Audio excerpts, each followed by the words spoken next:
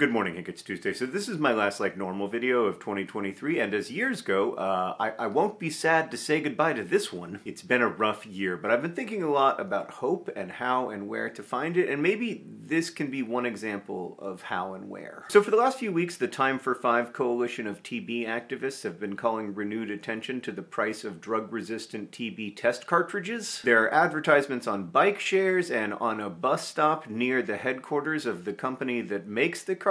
And also, uh, there is an ad in today's Washington Post, which is where the company in question, Danaher, is headquartered. So one thing we don't talk about enough is that these test cartridges are amazing. I mean, in a couple hours, caregivers can know which antibiotics a particular individual's tuberculosis will respond to, and then usually that means that it can be cured within six to nine months of the right antibiotic regimen. I know of one TB survivor, Phumeza Tisile, who during her three years and eight months of drug-resistant TB treatment took between 20 and 30,000 pills and also lost her hearing because of a drug that it turns out she didn't even need to take. All that happened because at the time this miraculous test didn't exist and now it does exist, which is a cause for hope and celebration. It's also such a testament to the power of research and the scientific method and the sharing and diffusion of knowledge and to the talent and hard work of the people who work at Cepheid, the subsidiary of Danaher that makes these tests. Because I haven't been particularly good at being hopeful lately, I don't think I've spent enough time marveling at the astonishing multi-generational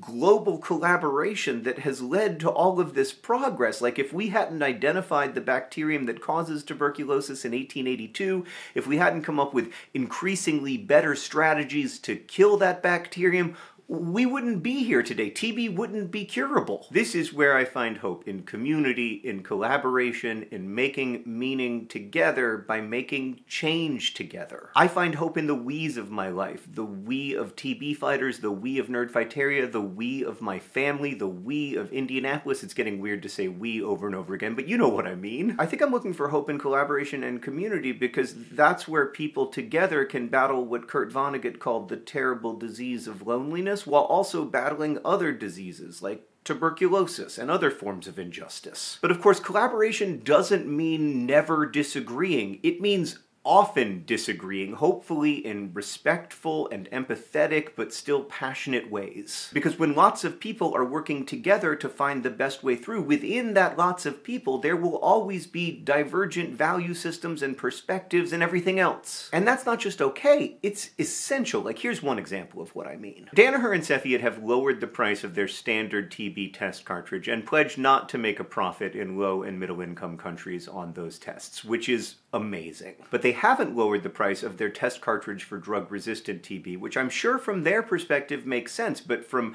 our perspective as TB fighters doesn't make sense because our only priority is lowering the global burden of tuberculosis, which we think is best accomplished through cheaper and more abundant testing. That's a big disagreement over an issue that contributes to hundreds of thousands of deaths every year, but Danaher is not the enemy.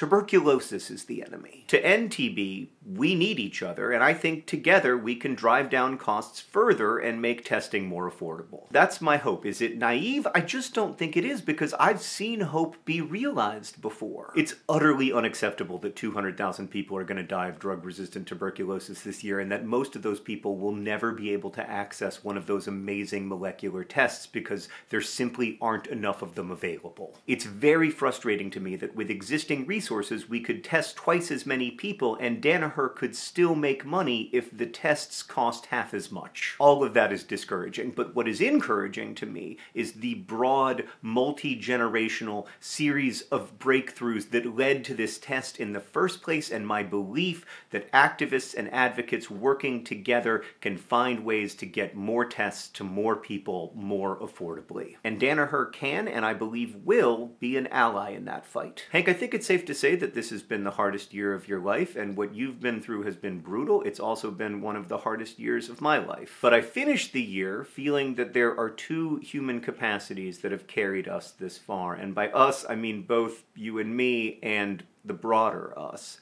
Our capacity for collaboration and our capacity for hope. To hope is to refuse to accept the world as it is, and it is through collaboration, and indeed only through collaboration, that we can bring about a better world. Hank, I'll see you on Friday.